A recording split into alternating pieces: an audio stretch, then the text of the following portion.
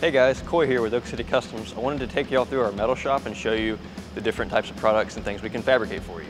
So the first step in any build is a customer will reach out and contact us about the product they have in mind and then we will get a drawing made and off of this drawing we can figure out how long our parts need to be, the angles they need to be cut at, the size of the part, and what material it's going to be made out of.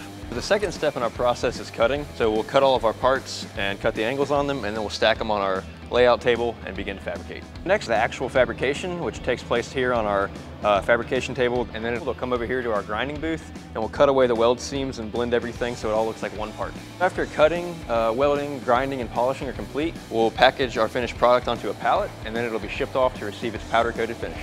Final stage is a finished product that comes back from powder coat. All the hardware has been assembled and ready to go to the customer's house. So at Oak City Customs, there's a lot of things we can do with metal. So reach out and contact us for your next custom project.